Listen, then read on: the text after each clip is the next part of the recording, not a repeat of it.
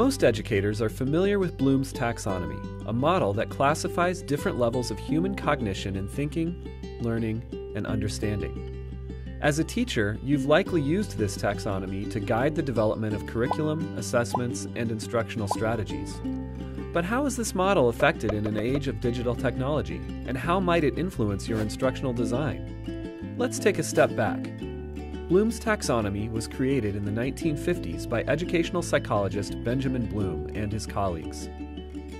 The three lower levels knowledge, comprehension, and application are more basic levels of cognition, also called lower order thinking skills.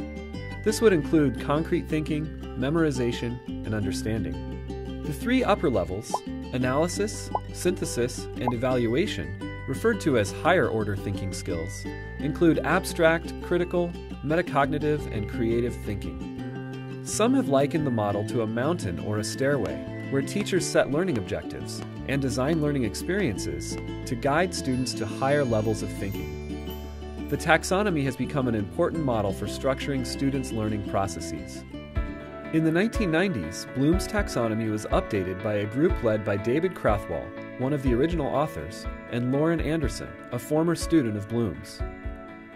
To make the model relevant to 21st century learning, one of their main changes was updating the nouns associated with each level to action oriented verbs. This differentiation positions thinking as an action based process rather than one of passive acquisition. For example, knowledge was replaced with remember, analysis was changed to analyze, and so on. They also reordered the last two steps Evaluation, which was previously at the top, was moved down, and creating, formerly synthesis, was moved to the top. With this framing, educators have several different verbs, questions, and instructional strategies associated with each level. In recent years, there have been many iterations and metaphors for Bloom's taxonomy, including an orange, where the six levels are distributed more equally, moving cogs, representing an interworking system in which creation is dependent upon all of the other aspects. Or a flipped pyramid illustrating an emphasis on higher order thinking skills. But in thinking about how technology affects this model, consider it as Bloom's digital taxonomy. This updated version aims to expand upon the skills associated with each level as technology becomes a more ingrained and essential part of learning. For instance, some propose that new action verbs can be applied within each level. Let's take a look at creating, in which learners are designing, inventing, and constructing a piece of work that shows what they know.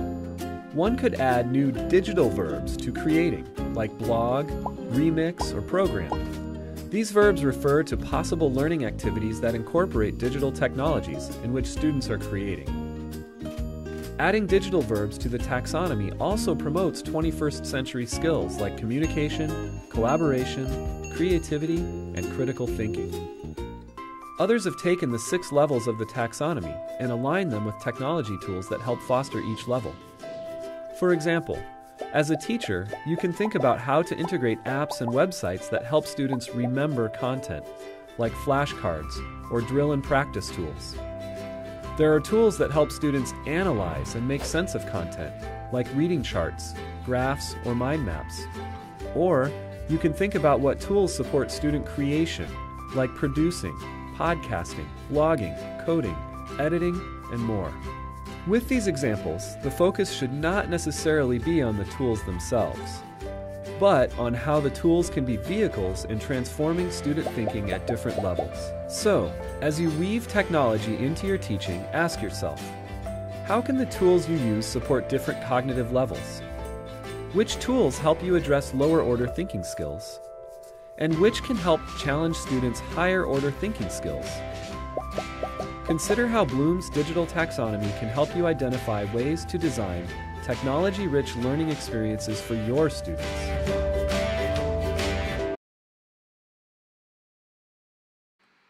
Karamihan po sa atin as educators, familiar naman po tayo what is Bloom's taxonomy. Model po siya para maklasify natin ang different level ng human cognition and thinking, learning, and understanding. Sa college po, ito po ang ginagamit naming guide sa curriculum, assessments, and instructional strategies. Pero sa elementary and high school po, pwede naman po natin itong gamitin para lang po sa atin, para po maging guide natin, additional way, how to assess students, sufficient ba yung mga instructional strategies po natin? Pero papaano naman magiging effective ang Bloom's Taxonomy sa panahon natin ngayon ng digital technology? Paano po ba siya makaka-influence sa mga instructional design po natin? So, we as teachers po, we have our learning objectives, di po ba? Para po sa mga estudyante natin. Pwede po nating gamitin ang model na ito as tool na maging vehicles po ito in transforming student thinking at different levels. So, from a simple Bloom's taxonomy to Bloom's digital taxonomy para lalo pong ma-expand ang skills nung each level dun sa Bloom's taxonomy. But how? Papaano po? So users like us, pwede po tayong mag-share ng mga digital contents Di po ba? Halimbawa, tayo pong mga teachers, we can embed instructional videos. Pwede po tayong mag-create ng mga learning groups for students. Pwede po nating magamit ang learning management system to manage calendar events. Lahat po ng pati pag-input ng grades para ma-monitor po natin as educators yung progress ng students po natin, po pwede po nating gamitin ang technology.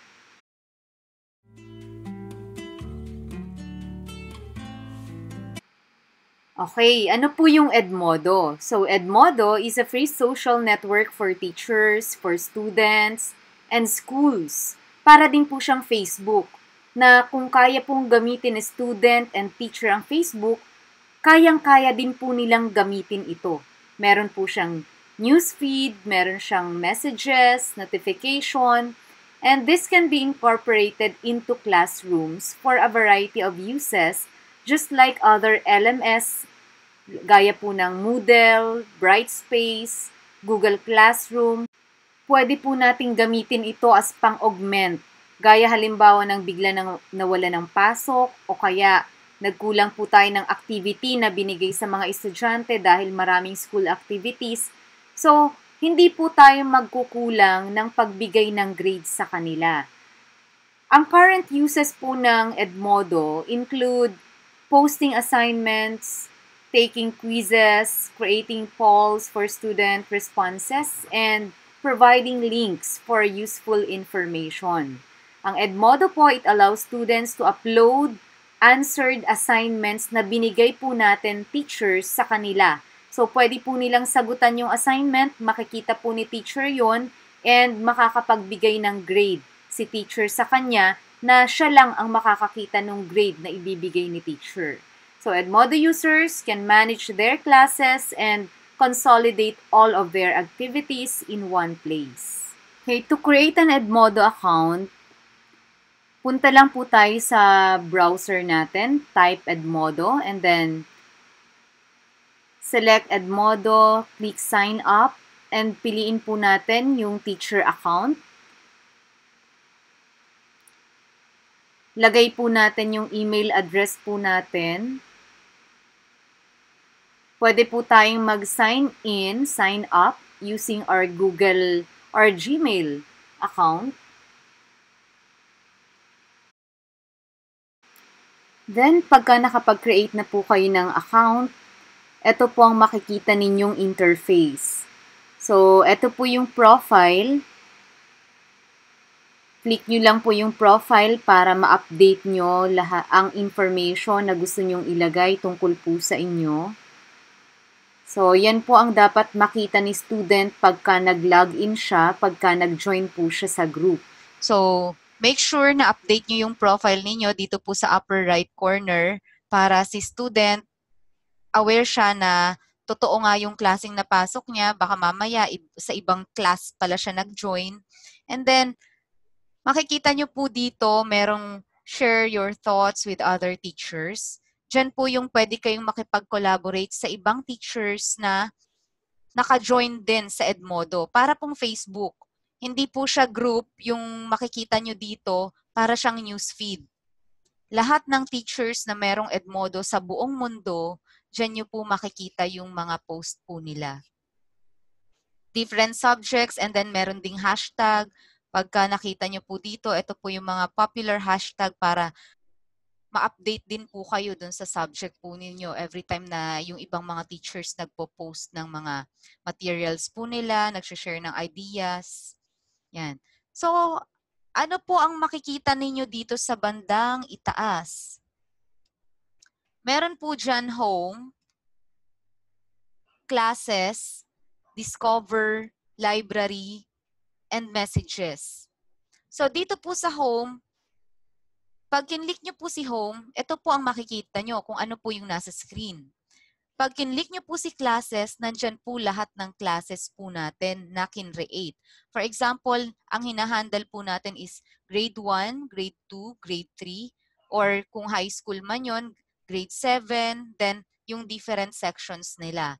So, pwede po kayong mag-create ng classes doon.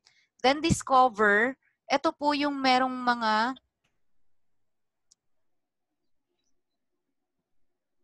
pwedeng magbigay sa inyo ng idea kung ano yung pwede ninyong gawin sa klase. Magkakaroon kayo ng idea about games na pwede ninyong i-integrate habang nagkaklase po kayo para icebreakers. And ano po yung mga application na pwedeng magamit. And then news. Ito po na ano na po yan. Nasala naman yan. Kaya no worries po sa part po ng mga teachers. So, yan po, discover lang. And then, library, nandyan po lahat ng na-upload ninyong assignments, quizzes, activities dito po sa Edmodo. So, saan po natin to pwedeng magamit? In the future na gagamitin ulit natin sila, halimbawa, ito 2019 pa, ito 2015.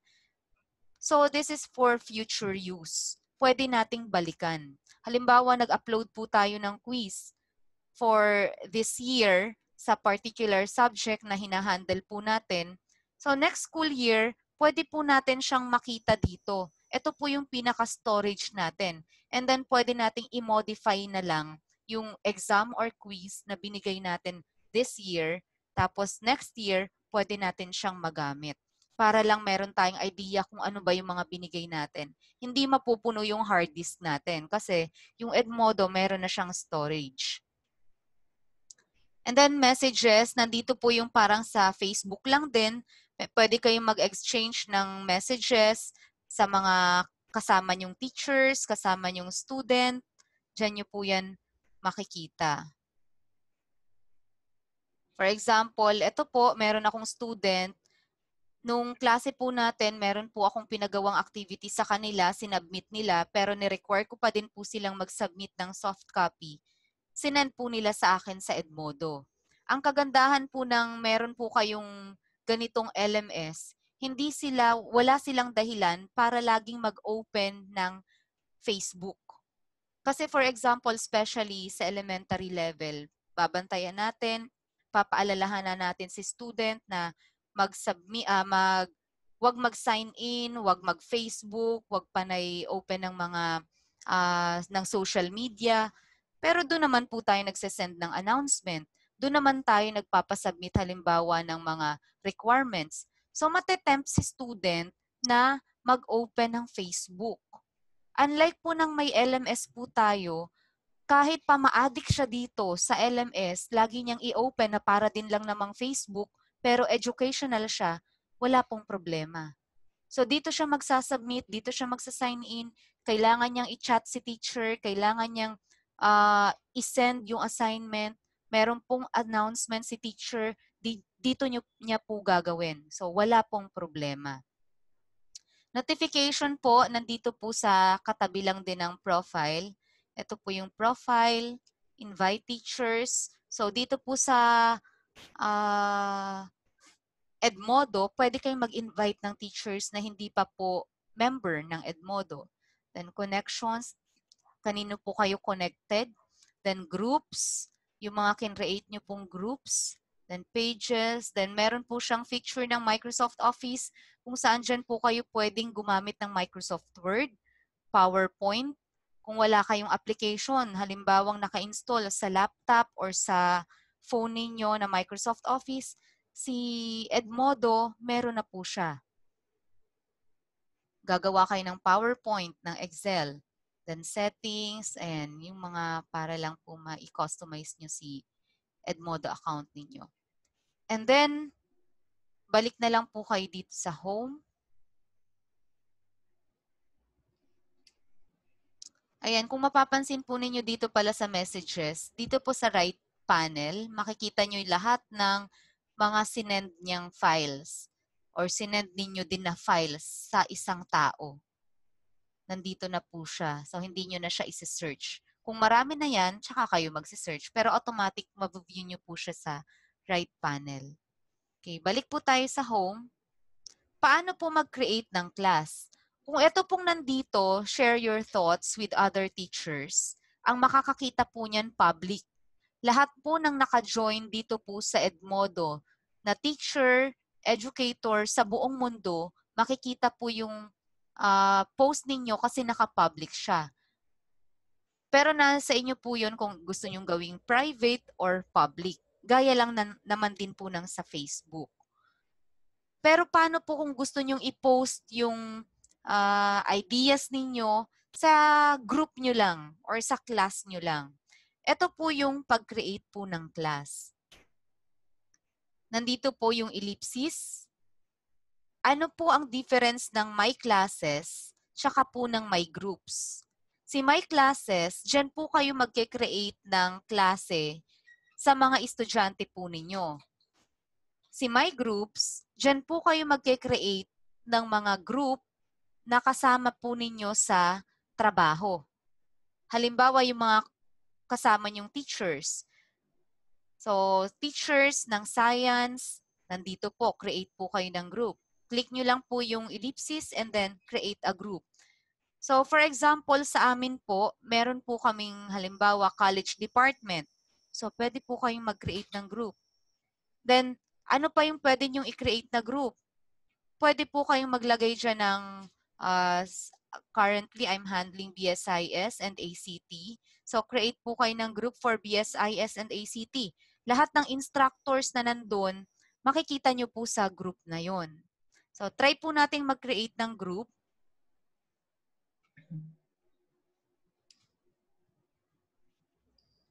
For example, BSIS and ACT instructors. Then describe. Kahit later na po yan kung maglalagay po kayo. Then higher education dahil nasa college. Computer technology. Ito po yung then select who can find and join this group. Pwede nyo pong i-public sa lahat ng teachers, public to school staff, public to district, private to members. Members po ng alin? Members po ng kinreate nyo lang na group. So, pwede nyo pong i-select to and then pwede kayong mag-change ng color Halimbawa kasi, dito po sa part ng profile, i-include nyo po dun yung La Verdad Christian College, Christian School. So, lahat ng teacher, ma-view nyo po dito, lahat ng meron lang Edmodo account. So, sila lang po yung ma-add nyo dito kung sakali. Halimbawa, nakapag-create po kayo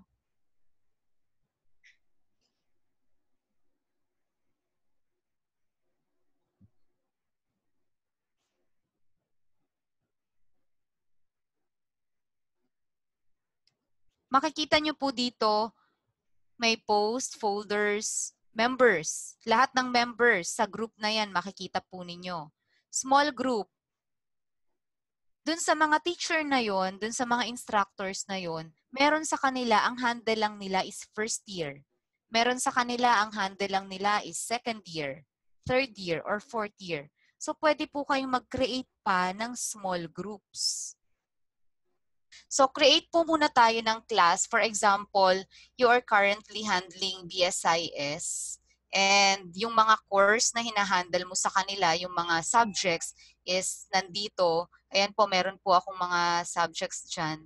So mag-create ako ng bagong class. Dito lang po yon. Click nyo lang po itong ellipsis. Then create class. Or kung meron na pong existing class, join a class lang po kayo paano po mag-join sa class? Mamaya po, itutuloy po natin yan after nitong create a class. So, create po tayo ng class.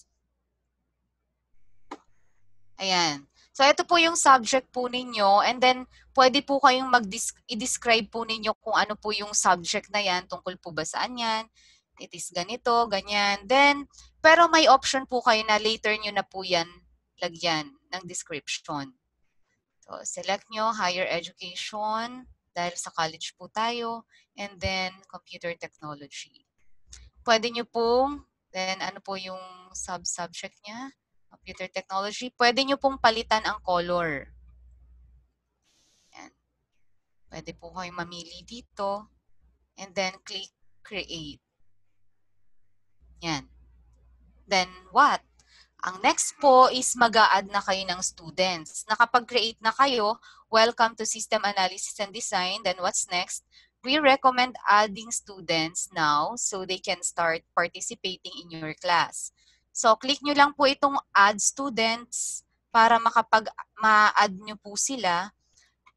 Meron pong different options para makapag-add po kayo ng student. Ang first option po natin, kung mag add po tayo, is enter nyo lang po yung first name nila, yung last name nila, and yung email address. For example, meron pong binigay ang La Verdad na email address para sa bawat isang estudyante. Yun po ang ilalagay natin dito. So kahit hindi nyo pa po nami-meet si student dahil wala pang pasukan, pero naibigay na po sa atin ni registrar yung pong email address nila, before pang mag-start ang klase, nakapag-create na kayo ng class dito sa Edmodo. So, lagay nyo lang po yung email address nila para automatic maa-add na po sila dito sa class. Other ways to add, right after nyo pong makapag-create ng group or ng class, magge-generate po ang system ng code. So, ito po yung lalabas na code Ayan, WS3 and CW. I-copy nyo lang po yan and then isesend nyo po yan sa mga estudyante po ninyo. Para yan po yung itatype nilang code para makapag uh, join sila dun sa class po ninyo. So kung okay na po sila, naka, na, naka-add na silang lahat, na-access na nila yung class, pwede nyo na pong i-lock yung code. Ito po yun lock. Yun po yung pagkakasunod-sunod. Pero dahil wala pa nga po kayong na-add, click done. Yan. Then, eto na po yung class ninyo. So, ito na yung class, System Analysis and Design. Ito po yung instructor, yung subject na handle niya. Then, ito po yung class code. Ayan, yung pong nakita natin kanina, pwede nyong i-lock, pwede nyong i-unlock. Then, ito po ngayon, dito po tayo mag-uumpisa. Pwede nyo po siyang i-click para po saan yan. You can start a discussion, share class materials. For example, dito nyo po uumpisahan. Parang iwe-welcome nyo po yung mga estudyante ano po ba yung mga pwede nyong ilagay dyan pang welcome sa student? Parang welcome note nyo sa kanila. Okay, parang magpapakilala muna kayo dahil hindi pa naman nila kayo kilala. Lalo po ngayon, under quarantine tayo, hindi naman nila kayo mamimit ng personal talaga. So, yan. Kayo na po ang bahala dyan. Ano ba, nag kayo. Then, post. Ganun lang po kasimple. Then, pwede nyo pong ipin yung post ninyo. Lagi siyang nasa top. Yan po lagi ang makikita nila dun sa bandang itaas pagka inopen nila yung class. Pagka halimbawa naman may i-edit kayo dahil meron kayong uh, gustong i-modify dun sa post ninyo, click nyo lang po itong button na to, itong ellipsis na to, and then edit post. Then type ulit. Pwede rin po kayong mag-insert ng images, ng videos, ng pictures. Click nyo lang po ito. Then, for example, ito. Kunyari, ang nandito po tayo ngayon sa desktop ko yung lahat ng files dyan sa computer po ninyo, pwede pong ma-access and ma-post po ninyo dito. So for example, ito, kunyari ito yung introduction. May kasamang video. Click nyo lang po yon then upload nyo. Tapos nandito yung description. The subject is ganito, ganyan. Then, Save.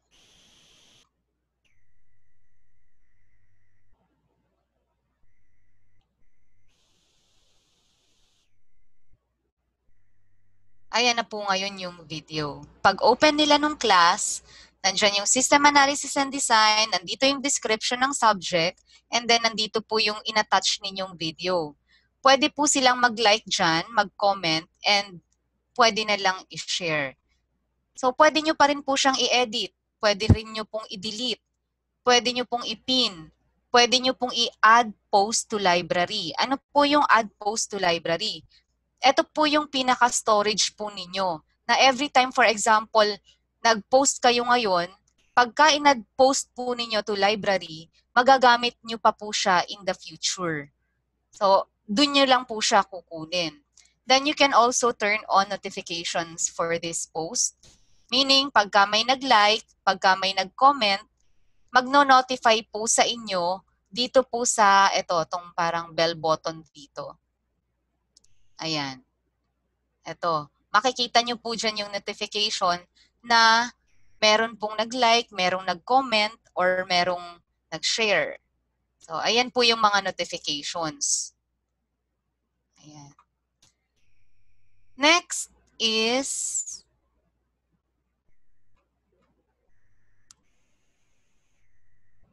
pwede rin po silang mag-join using this URL.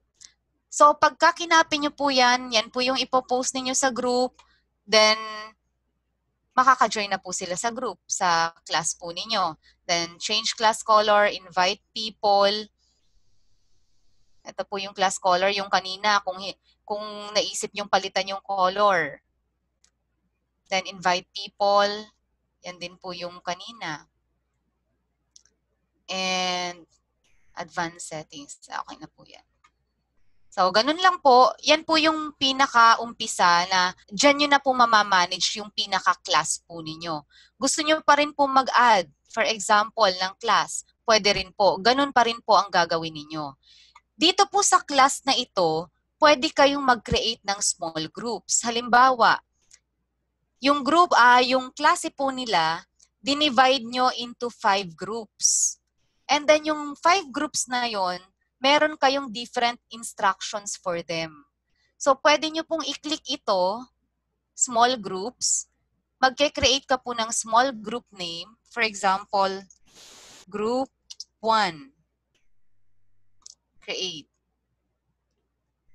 Ayan. Magkakaroon ng panibagong ganong setup din po, ganong interface, makakapag-post kayo ng discussion ng class materials kasi kung iba yung instruction nyo sa group 1, iba yung instruction nyo sa group 2, group 3, and so on, hanggang group 5, for example. Eh, lima yung group. So, pwede po kayo ulit mag-add group 2, then create. Para hindi po lahat ng group makikita nila yung lahat ng ipopost nyo. Pero pagka naman ang gusto nyo is lahat sila makita nila, pupunta po kayo dun sa kinreate nyong class na System Analysis and Design. But under that class, meron pong mga group. Merong mga uh, small groups. Same lang po. Ganun din. Ito din siya. Then pwede kayong mag, mag-create ng quiz, mag uh, load ng existing assignment, create quiz, load existing quiz, create assignment, Ayan.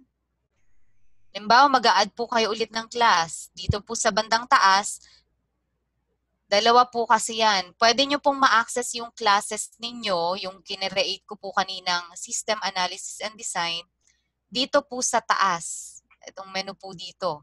Or dito po sa left panel. So, ito po yung mga class na meron po ako. Ayan.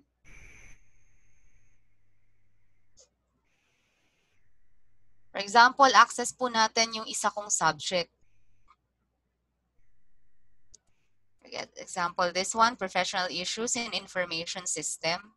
Then, meron pong, meron po akong pinost sa kanilang assignment, activity. Paano po mag-post ng activity dun sa subject na kinreate ninyo, dun sa class na create ninyo. So, click nyo lang po ito, create assignment, halimbawa. Then, meron kang binigay na instruction. So, type nyo lang po dito. And, assign. Ano po itong mga to? Ito po yung pwede kayong mag-attach ng file. Galing po mismo dun sa files po ninyo, pwede ka pong mamili kung ano po yung pwede nyong i-attach. For example, nandun na yung instructions nyo. Nandun na yung pinaka uh, guide ng mga estudyante dun sa gagawin nilang project or activity. So, attach nyo lang po yun. Bawa ito.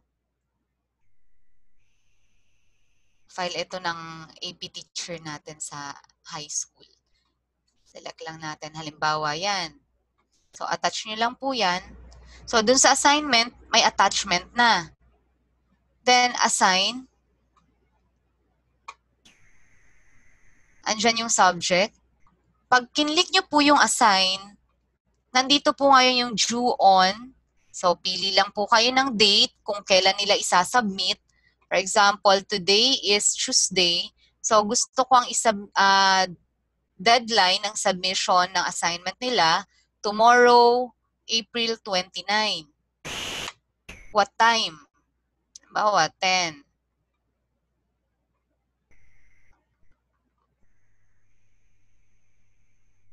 Uh, 10.30. 10.30 p.m. Then, meron po kayong option na click nyo lang po itong checkbox na ito if you want to lock that assignment after ng due date. Ito pong kinreate yung assignment na to, pagka medyo mahigpit kayo, ayaw, ayaw nyo na pong tumanggap ng late submission, lock nyo na po ito para wag na kayong maistorbo. Pero pagka medyo maluwag naman kayo and gusto nyo naman na kahit late tatanggapin pa rin, pero may minus na yun sa, sa para sa inyo, sa part nyo. Pwede nyo pong wag ilak. Uncheck nyo lang po siya, then assign. Pero dahil nga gusto nyong wala nang mag-submit after ng due date, check nyo lang po yan.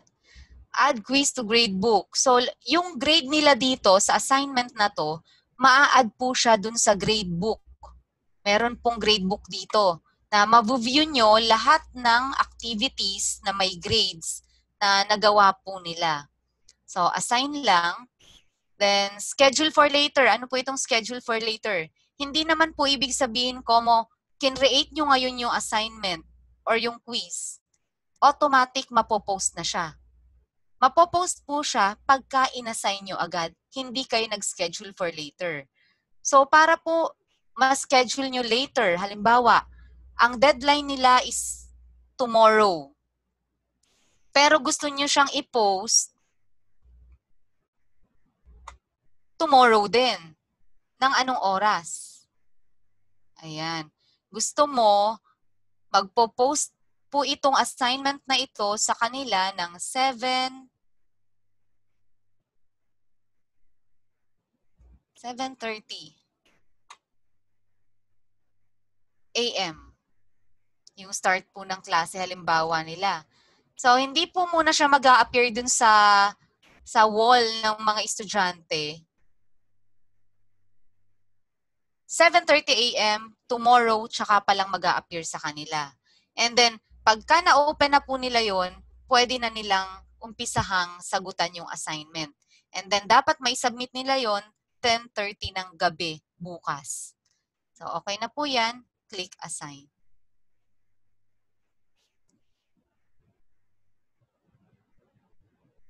Ayan. Hindi po siya nag-appear kasi nakaschedule nga yung ano po natin, yung pag-post. Create po kayo ulit. Pero load existing assignment naman. Ano po yung load existing assignment? Nakita niyo po yung kaninang kinreate ko. Sabi ko ilalagay ko siya sa library. Ito po siya ngayon. Yung load existing assignment, load existing quiz, makukuha niyo po lahat ng ginawa ninyo before na nilagay niyo po sa library ninyo for future use. Eh, ito na ngayon yung future. So, gusto kong balikan yung pinost ko halimbawa. Ito. Ito, nag-training na din po kami ng LM features kaya may mga ganitong na-create. So, copy assignment and pwede nyo po siyang i-modify. Pwede nyo po siyang dagdagan, pwede nyo bawasan. So, nandun pa rin po yung existing assignment na pinost ninyo dati.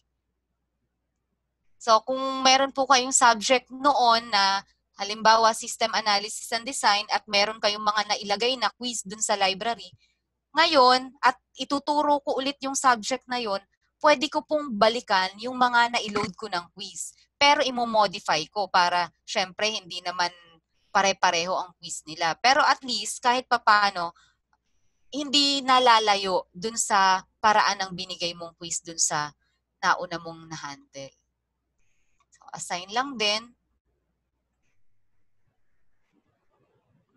Ay, hindi pala maklik. Yan, hindi nyo na po yan makiklik kasi tapos na yung mga date na yan eh.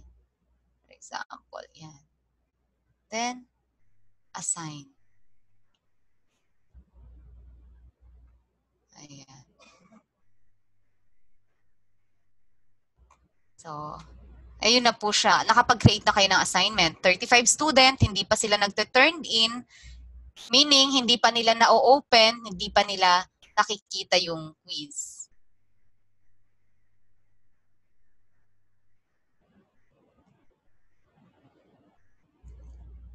Ngayon, i-delete ko po siya kasi makikita ng mga estudyante ko. ano kaya yung pinost ni ma'am? Ito po, tandaan po natin sa taas, home, classes, discover, library. Ito po yung library ninyo. Diyan po na nai-store lahat ng ginawa po ninyo na in-add to library ninyo. Pwede rin kayong, kasi nga gagawin nyo po siyang storage. Pwede po yon Pwede kayong mag-create ng new. Then upload po kayo ng file, ilalagay nyo dito. Pa, ano yan, mga pwede nyong magamit in the future. Then, pwede rin nakalink siya dun sa Google Drive ninyo. OneDrive, then library. So, ito po yung nasa library. So, ito po yung mga, yung classes po ninyo. Ayan. Ayan, kumpleto siya. Pwede rin po kayo mag-add ng class dito. So, dalawa po yung option nyo ng paraan ng pag-add ng class pwede pong dito, yan, dito sa ellipsis, or dito sa classes na mismo. Then, create new class. Same lang po yun. Name ng class nyo, description, then sub, uh, select grade, and so on. Ganun lang po siya. Access po ulit natin yung ito.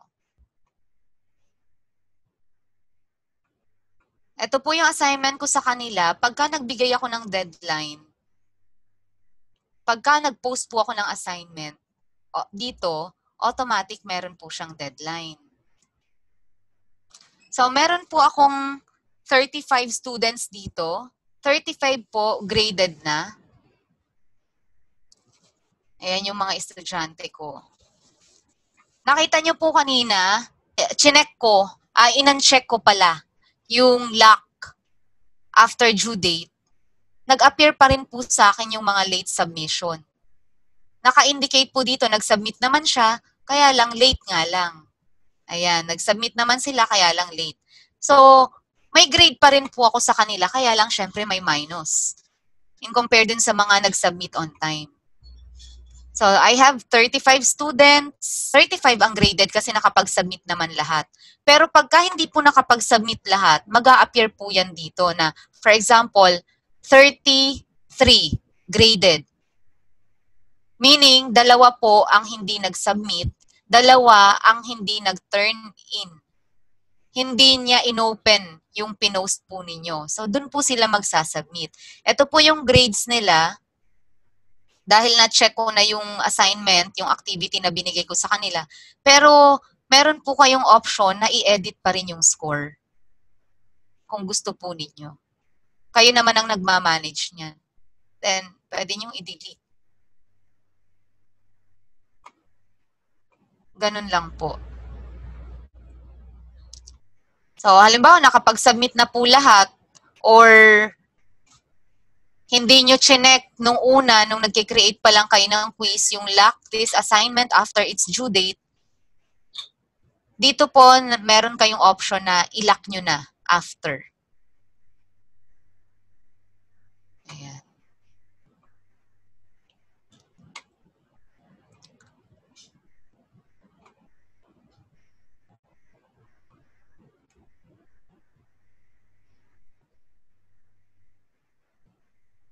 Balik po tayo dito. So, yun po. Makikita nyo dito, 35 submissions dahil 35 ang nag-submit. Sa kanila po, ang makikita po nila dyan, open, kasi yun po yung ikiklik nila para makapag-submit sila. Hindi sila pwedeng mag-submit ng assignment dito sa comment. Or else, makikita po yan ng mga ibang estudyante, lahat ng sagot niya. So, ang gagawin po na ninyo, dapat talagang mag-create kayo ng assignment para kayo lang ang makaka-view nung in-upload ninyo, nung pinost ninyong assignment pagka nag-submit ang estudyante ng assignment. Ayan. Pwede nyo po yung turn on notification every time na may magsasubmit. Pwede nyo pong i-delete. Ayan, nakapin yung post, pwede nyo pong i-unpin. Meaning, pagka nag-post ako ng panibago dito, matatakbo na siya, bababa na siya. Wala na siya sa top. Okay, create po tayo ng quiz. Create quiz. Ayan. Title po ng quiz. Ano ba yung title ng quiz? Halimbawa, Lesson 1. Quiz. Tapos, nandito po yung title ng quiz ninyo, kung ano man po yon. Then, nandito po yung instruction. So, magbibigay kayo ng instruction sa mga estudyante kung ano po yung ipapagawa nyo dun sa quiz. Bakit kayo magbibigay ng quiz? Ano po yung guidelines? Yan. So, quiz details lang po yun. Then, pwede po kayong mag-select if ano po yung type ng quiz na gusto nyong ipagawa sa mga estudyante true or false, multiple choice, short answer, fill in the blanks, matching type, multiple answer. So for example, ang gusto ko is true or false. Type nyo lang po dito yung question nyo. And pwede kayong mag-attach files para po maging reference nila or may makita silang guidelines muna bago sila sumagot dun sa quiz. So, pwede po yun. Pero option pa rin po yun. Hindi naman kailangan. So, attach files. Then, ano po yung correct answer? Para mag-auto-check po siya pagka nakapag-submit na si student. So, for example, ang correct answer is nandito sa true. So, dapat click nyo lang po ito para pagka nag-submit si student, ma-check na po siya kaagad. And then, ilang points per number. For example, 5 points. Sa number 1, true or false lang, 5 points. Then, add new question. Ayan. Ganun po ulit. Kaya lang, for example, in number 2, ang gusto ko, multiple choice na siya. Click multiple choice. And type nyo po ulit yung question. Pwede po ulit kayong mag-attach ng files. Then, dito, ilalagay nyo na yung answer. For example, letter, sa first letter is uh, mouse. Monitor. Yan po yung choices. Uh, eh, ang tamang sagot po, alimbawa, nandito sa monitor, ikaw po na nagke-create ng quiz, dapat select mo yung correct answer. Yan. Then, ilang points. Halimbawa, gusto mo, 10 points na siya. Halimbawa lang po yun, ha? Ang taas naman. Ayan, ganun lang po. Halimbawa, nakapag-create na po kayo. So, meron po kayong total na dalawang questions na binigay, pero ang total points ng dalawang questions na yon is 15. Ito po siya. Click nyo lang po assign kung tapos na. Meaning, kahit isang question lang, pwede po kayong mag-create. Kung yung isang question na yun is 20 points, dahil halimbawa essay. Yun nga lang, hindi nyo po mailalagay dyan yung correct answer. Kayo po ang mag-check nun isa-isa. So, assign, then mag appear po ulit. Kailan nyo po siya kailan po ang deadline niya. Ayan. Ba, 11.59 p.m., time limit, nung quiz na yon Wag naman 11.59 p.m. Halimbawa, 8 a.m. Yan po yung start ng klase nila.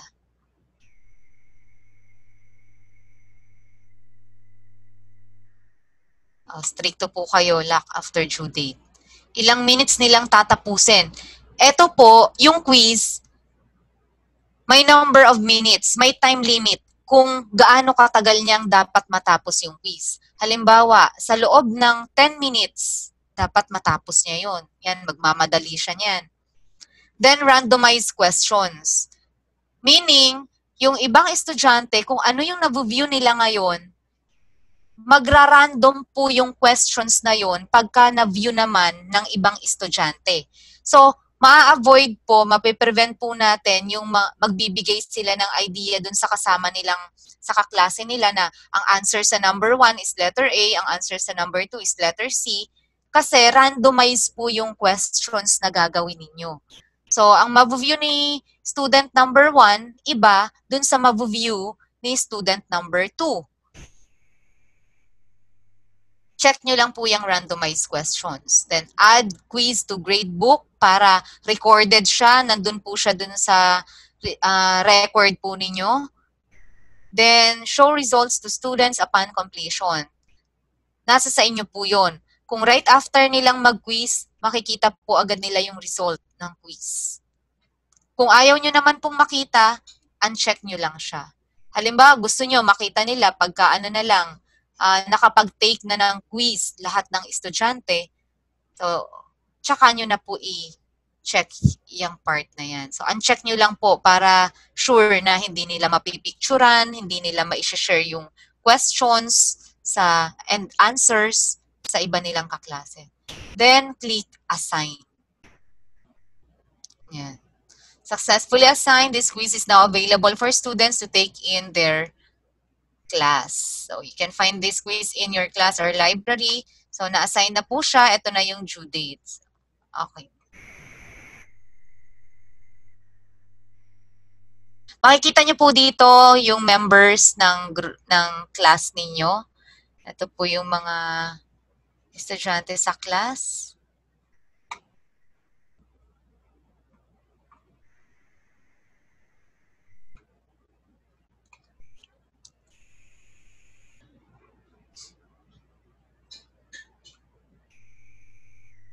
Ayan. La, ito po yung mga post ko sa kanila before. Ayan, nag pwede ka pong mag-attach ng format. Gaya po noon, meron po akong pinagawa sa kanilang research. Ito po yung instruction. And then, nag-attach po ako ng format kung paano nila isasubmit, ano po yung guide para magawa nila yung research.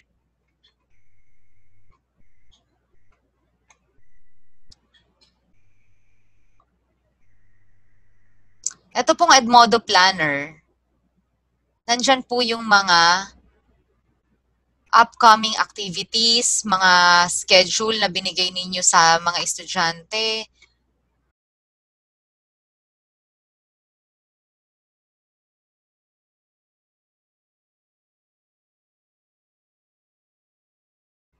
Ayan. Ayan, yung mga quiz na can-create po ninyo. Then, ito pong progress. Dito nyo po makikita yung progress ng bawat isang estudyante.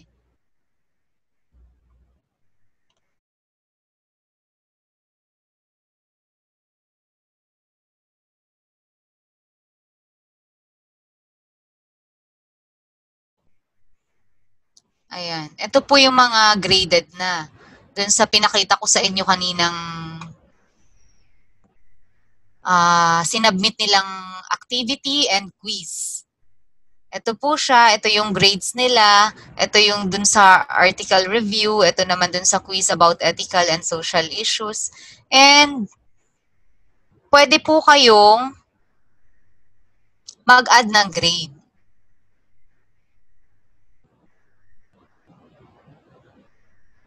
Halimbawa, recitation.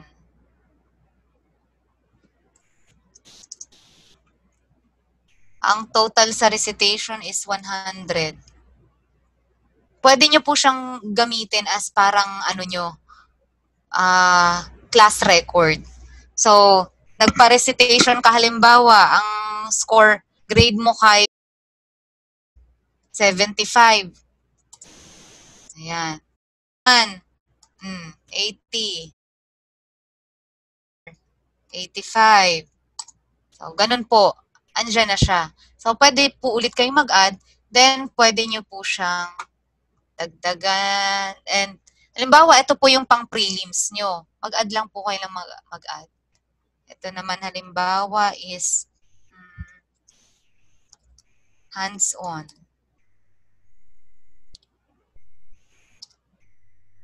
Ang total niya is, halimbawa lang is 100. Ayan. Dito lang po kayo maglalagay. Click nyo lang po yung box, then mag-a-appear na yan.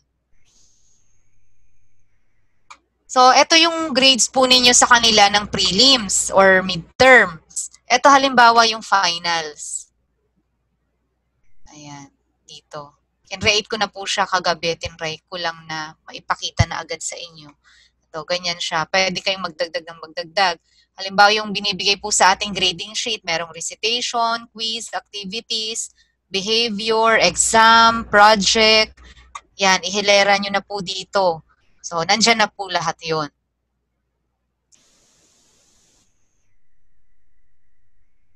Then, pwede nyo po siyang i-download.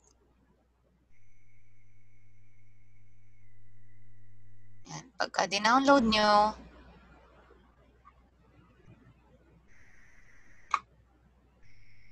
para halimbawa gusto nyong i-print,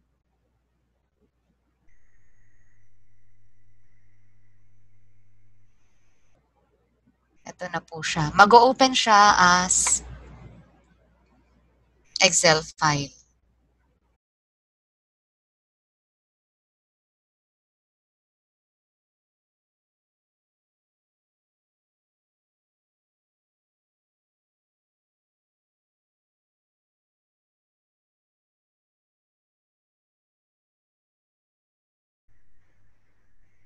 Group, ito po. Sa group naman, same lang po ng pag-add sa class. Ito yung klase po ninyo.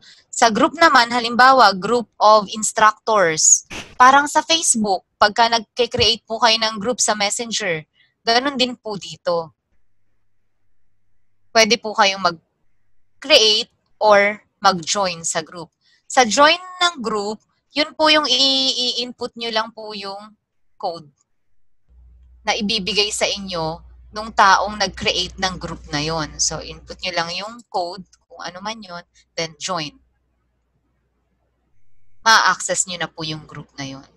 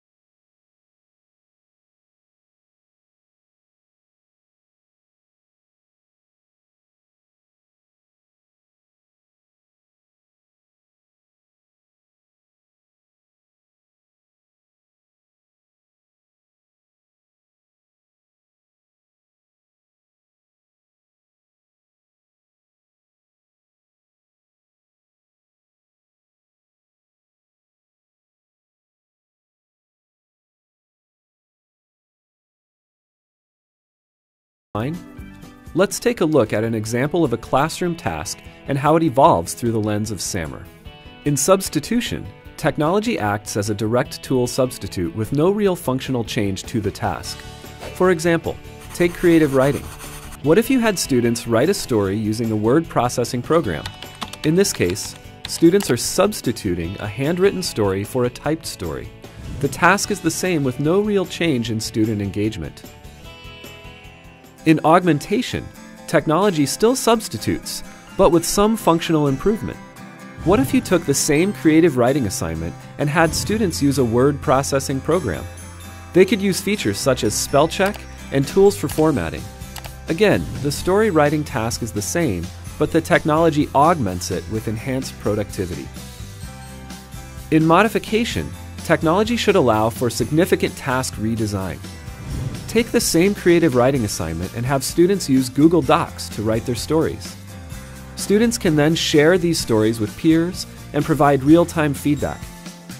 Here, technology has significantly modified the original task by introducing the benefits of student collaboration. At the top stage, redefinition, technology allows for the creation of entirely new tasks that were previously inconceivable. What if students transform their written stories into multimedia productions? After creating storyboards, students film scenes, edit clips, and add music. They can publish the videos and receive feedback from voices across the globe. In this case, technology redefines the story writing task to include media creation, critical thinking, collaboration, and communication. So, how can you use SAMR to reflect upon transforming your learning design?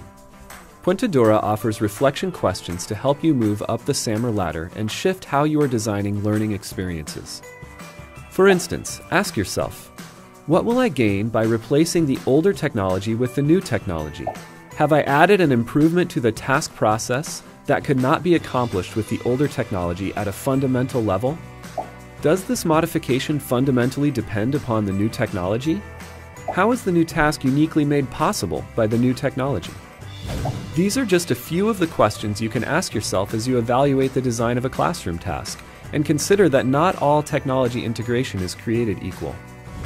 Ultimately, SAMR can help you evaluate your use of technology and design tasks that target higher order thinking skills, engage students in rich learning experiences, and impact student achievement.